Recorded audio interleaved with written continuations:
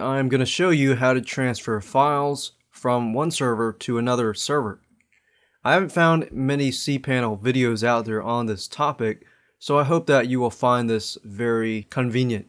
So what you'll need to have access to is the WHM, which is the cPanel main administrative panel. Now, there are several transfers options that you can do. You can copy an account from another server, which basically means one domain name. Or you can copy multiple accounts, multiple accounts meaning multiple domain names to your server. So go ahead and click that and you'll be forwarded here. Uh, the only thing you need is the IP address of the old server that you're copying the files from. Paste that in there and you need to make sure that your SSH port is correct. Otherwise, you're going to get an error message like that.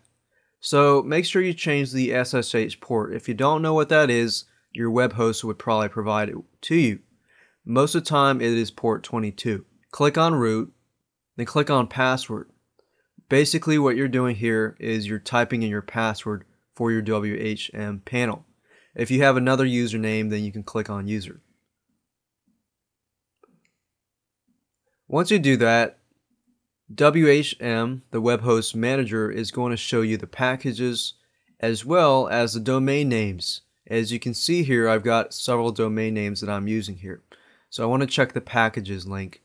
But the only checkbox that I really need to click are the ones that are left to the domain names. In this example, I'm going to choose membersnap.com. You can choose select all if you want, or different things. I'm just going to choose member snap, click on copy, click on OK, and that's it. Now what WHM is doing right now is it's copying the files from my other server. So it's copying an exact replica. So this is what I like about this feature here. It'll copy the exact replica, usernames, passwords, databases, anything you set on your other server is going to go on this server. So you don't have to worry about resetting up the databases, resetting up permissions, and all that. It'll give you an exact replica so that when you switch the DNS from the other server or your domain registrar, you switch it to your new server, everything's going to work perfectly if you do it correctly. So as you can see, it's transferred MemberSnap over already and it's done it pretty quickly.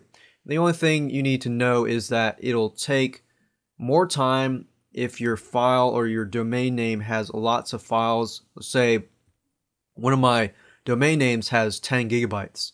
So to transfer that, it took me about an hour, two hours, or three hours. So maximum probably take three to four hours maximum, depending on how big your hard drive is or how many how much space you're actually using. So if you're using 100 gigs, it might take even half a day. So what I do is just do that and just walk away or do something else. Uh, you probably don't want to do too much to your browser because you don't want your own computer to crash. So that's one thing to note. Um, as you can see here, I'm taking a look at membersnap.com and it worked. And that's it for this video.